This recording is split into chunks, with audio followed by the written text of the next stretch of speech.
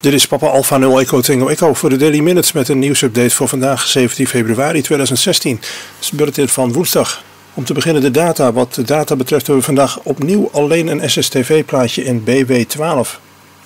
Na meerdere dagen van uitstel zijn eindelijk de Japanse satellieten CubeSat 2 en CubeSat 3 gelanceerd. Dat gebeurde op 17 februari vandaag dus. Het oorspronkelijke plan was dat de lancering afgelopen vrijdag op 12 februari zou plaatsvinden. Meteen na het afstoten van de satellieten begonnen deze met uitzenden. Een CW-signaal van CubeSat 1 werd vrijwel direct al in Brazilië ontvangen.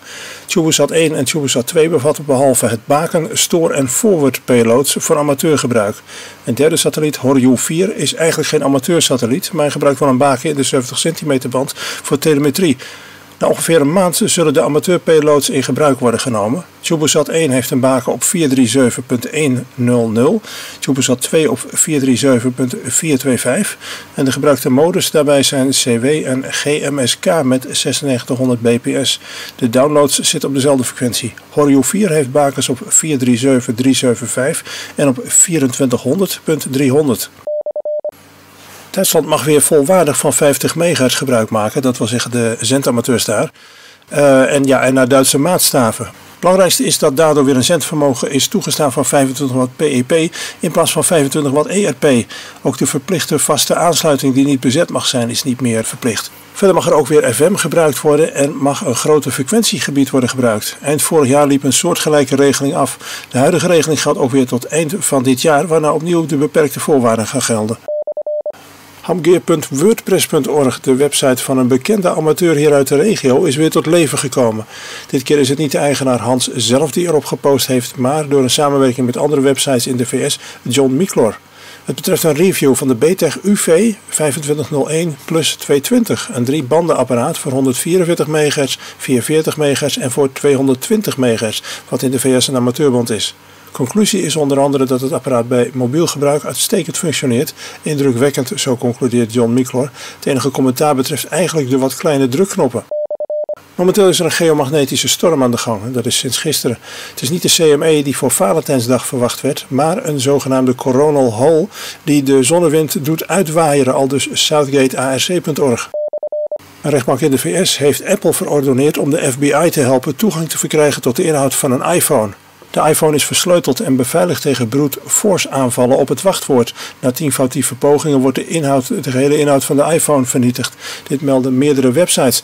De zaak speelt rond de schietpartij in San Bernardino van een paar maanden geleden. De CEO van Apple, Tim Cook, meldt dat Apple in beroep zal gaan en zich ook verder zal verzetten tegen pogingen van de overheid om de beveiliging van data alsmaar te ondermijnen. De tool waartoe de rechtbank Apple nu veroordeeld heeft dat ze die moeten maken, creëert volgens Cook wel degelijk een backdoor. En hoewel de Amerikaanse overheid garandeert dat die achterdeur voor alleen dit doel gebruikt zal worden, is er niemand die dat kan garanderen. En ook niet dat het alleen de overheid is die deze mogelijkheid zal blijken te kunnen benutten.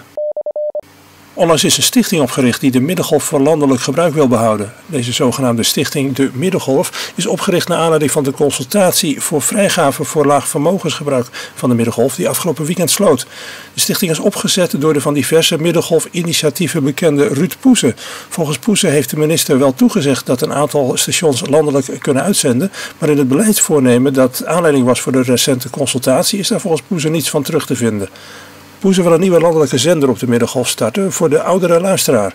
Poeze, die zelf drie Middengolfzenders in Midden-Nederland beheert, heeft meer kritiek. Volgens hem laat de overheid ook voorstellen voor LPAM, Low Power AM radio liggen.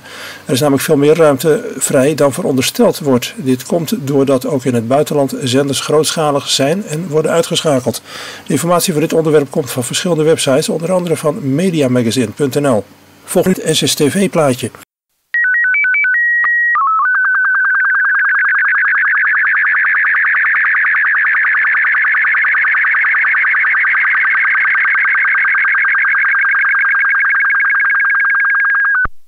Daily Minutes zijn dagelijks om 1900 uur te beluisteren op PI2 NOS en ochtends om half elf.